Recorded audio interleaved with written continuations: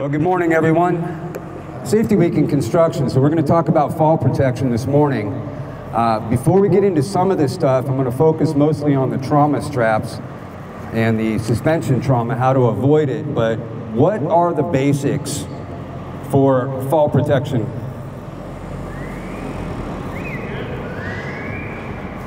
Much better. All right, ABCs, right? What does A stand for? Wrong trade. Come on, guys. How many of you guys have been in the business for a while? How long? How about anchor? We're talking about fall protection. ABC, anchor, body harness. What's C? Oh my God. Tough crowd. Connector. Okay? How many of you guys actually have to wear fall protection on a regular basis here? All right, right? How many roofers? Show of hands. Three, four? Okay, we'll go with that. All right, so apparently we don't know too much about fall protection, so we're going to cover some basics.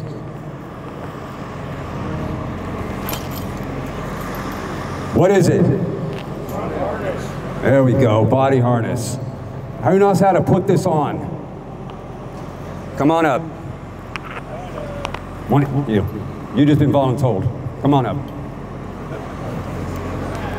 All right, so we're going to demonstrate how to put this on. You know how to put it on?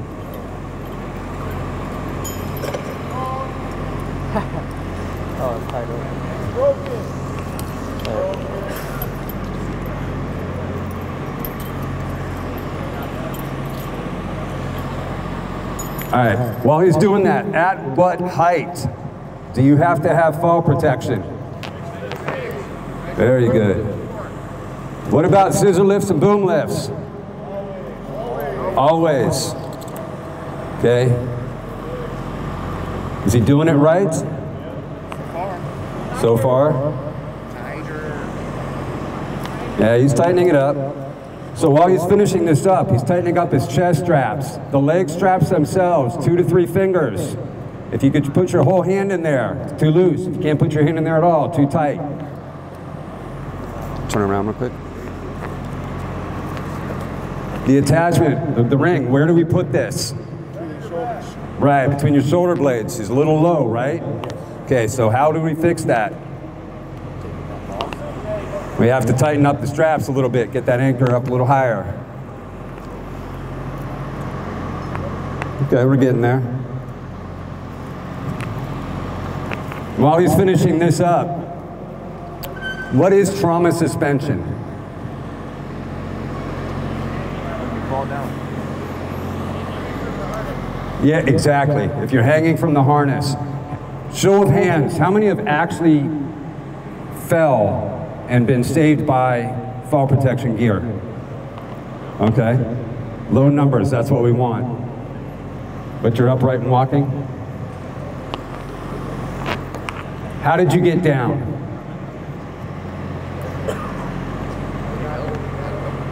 They let you down?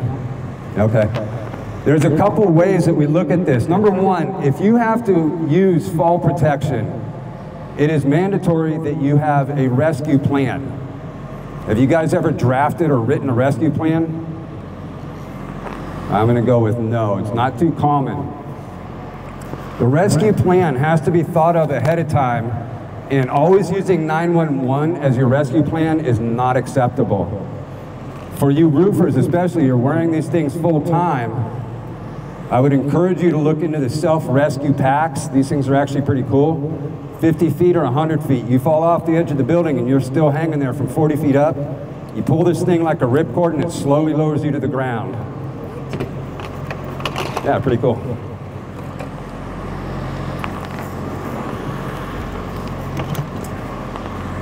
What is this?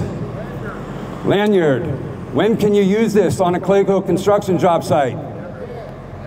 Never, exactly. These are not allowed. What do I have here? Yo-yo, also called a connector. When you put on your harness and your connectors in the morning, do you inspect them? Oh, correct answer, always, yes. How do you inspect them? Yeah, yeah, yeah. You, you pull it out nice and slow, and then also, when you're doing that, you're inspecting the actual fibers, and then check it like you would a seatbelt.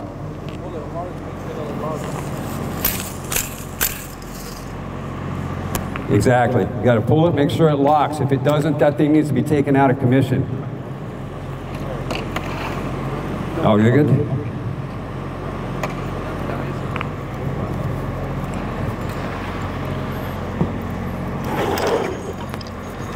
What's this one?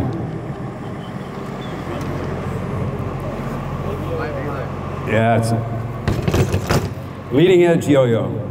Okay, for you roofers, that's what you should be using. The difference is on a typical yo-yo. Where'd that thing go? Oh, okay. Who's got my yo-yo? Yeah, let me see that real quick. All right, so on the yo-yo, this is the part that gets attached. Turn around. Okay, now he can actually go and tie off somewhere. This one does not attach to the body. Okay, this attaches to the ground. We actually played a joke on a guy one time and made him put it on his back for five minutes. He wasn't too happy about it.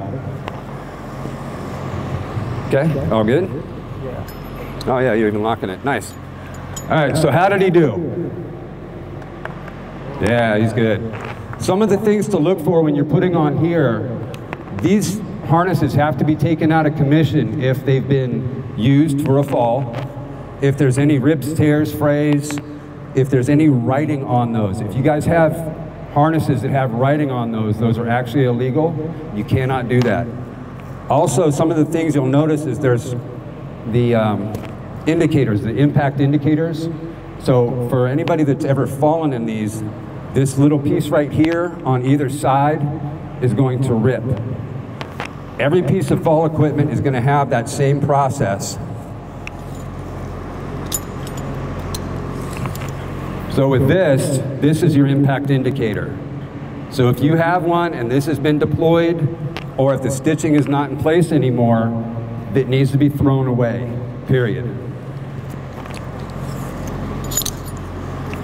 All right. Good? Okay. He's good. I need another volunteer. Go ahead and take it off. It's for you for volunteering. Chad, thanks. Come on up, buddy. I get to pick on my guys.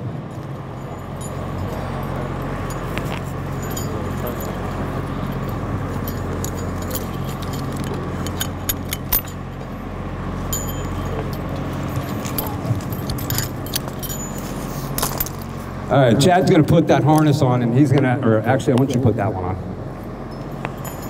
We're gonna have him demonstrate how to use the trauma straps. While he's putting that on, one other thing, how do you store your fall protection gear? Indoor, inside the Conex hanging. Inside the Conex hanging, uh, buckets, right? The last thing you want to do, and I see this all too often, is put your harness in the bottom of a gang box. Throw it in the back of your truck. We don't want to do that. What happens when we do stuff like that?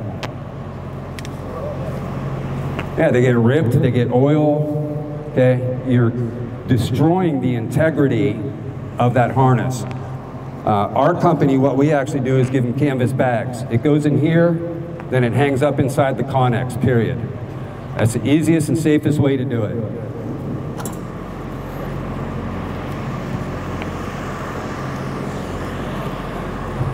You good? Okay. Oh, that was pretty quick. Does he have it on right? Perfect. All right. So one of the things we'll notice, and a lot of the harnesses these days come with integrated trauma straps, but these are actual aftermarket. They attach right to the harness itself. And just a quick explanation, you fall and you're hanging there and you're waiting to be rescued. Number one, how long do you have before you start getting into a medical emergency? Yeah, depending on the person, anywhere between three and 20 minutes. And what ends up happening is the lactic acid, blood clots, right? And then when you get released, all of that gets shooting up through your body. That could shut down your heart, your kidneys, your liver. That's why it's so important to make sure these victims, act, or the, anybody who's fallen, is actually rescued right away. The trauma relief straps do nothing more than allow you to extend that time. And we're going to show how that works. But basically, all you would have to do, unzip both of them, hook them together, and then stand in it and cinch it up. Takes all the pressure off your legs. So we're going to have a little fun with Chad. You guys, you guys know what's coming. Cherry picker. Yeah, uh, we, we put them up on an engine hoist because doing this on the ground is easy. But when you're up there floating around and spinning, you're out of control, it's a little tougher. So I want to make sure Chad understands what it actually feels like up there.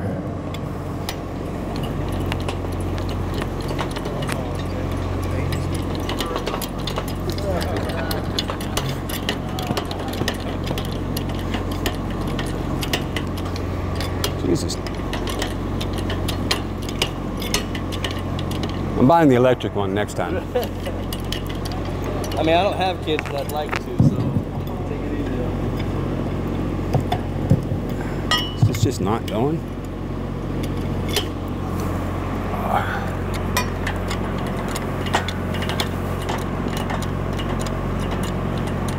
I think we're having technical difficulties here. You want me to sit? Yeah, squat down. He broke my cherry picker.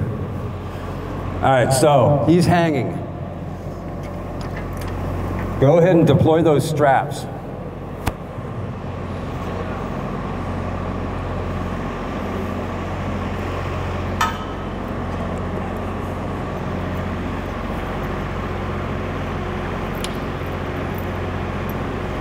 You feeling the pressure in your legs? A little bit. Yeah, he's already starting to feel it.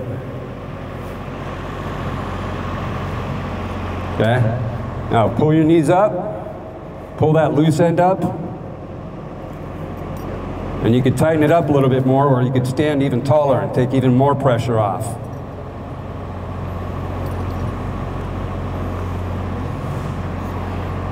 Comfortable? Uh, no. No? Okay, for some of you, this is payback. Watching the guy hang up there. But in all seriousness, you do not want to let them up there that long. How many people here know Chad? How many people do not like Chad? How many people have towels? It's time for target practice. There it is. I'm getting out of the way. Yeah, oh, here we go. All right, you're good. In all seriousness, what is the number one cause of fatalities on a construction site? Falls, correctly. Falls. You throwing them at me now? Falls make up 25% of the construction fatalities. So one of the things that we encourage is make sure when you get your harnesses that they are actually comfortable, fit. Um, do not buy the cheap ones. They only last about five years to begin with. When you use the cheaper ones, who has to wear their harness all day? All yeah. What happens? I said sometimes. Yeah. If you're wearing these things all day, you learn real fast just how uncomfortable a cheap harness can be. So you want to make sure that you are actually getting a good harness, a good fit. We encourage our guys, and I would encourage everyone here to have your own if possible. Not something that you would directly buy, but if your company issues them, keep it yourself. our first volunteer that came up here, was about 10 minutes for him to actually get fit into that thing. Okay, we don't want that. We want it fit for you, and then that is what you're going to continually wear. If you're constantly having to adjust these things, uh, it's taking up time. You're not going to get it fit right. So make sure you have your own. If you don't have the trauma straps, I would encourage you guys to buy those as well. Guardian, 3M, FallTech, uh, they all make them. They're about 25 bucks for a pack. So that's $25 is actually going to save you from a medical emergency. So who wears fall protection all day long?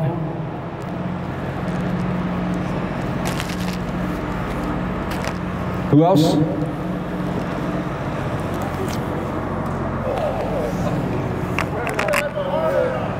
Yeah, where's your hard hat, buddy?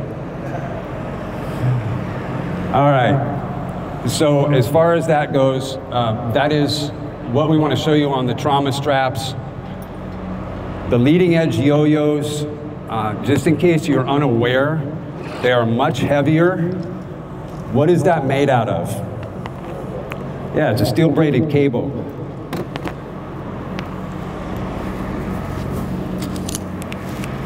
Can you use this for leading edge? No. Why not? Fiber. Exactly. Yeah, it's it's the fiber on there. And when you go off of an edge, and if you're swinging, it's going to cut right through that. You want to make sure you have that steel cable. That's what's going to protect you. All right, what questions do you guys have about fall protection?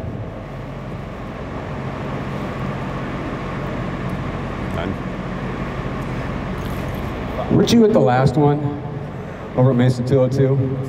Okay.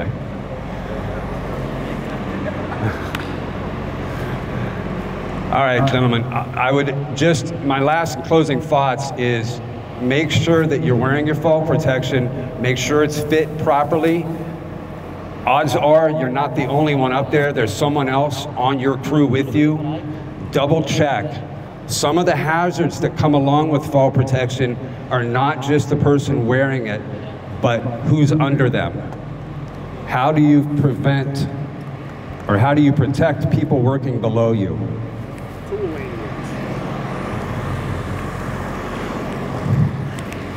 Tool lanyards.